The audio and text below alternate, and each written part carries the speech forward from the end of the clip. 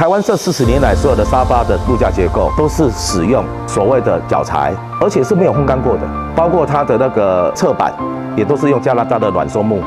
那种东西是会 会会受潮的。像领口啦，像像有些地方是很潮湿的地方，它很容易长蛀虫，脚材方面会腐烂，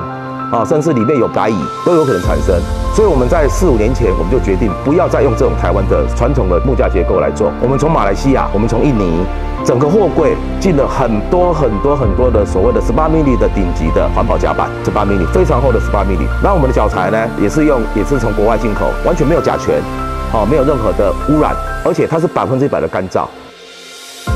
你知道这个木架定好之后的结构体跟它的材质，已经跟欧洲原厂，所谓欧洲世界十大名牌的原厂的结构，已经达到一模一样的结构了。这样的结构，不要说十年啦，保护你一辈子都没事。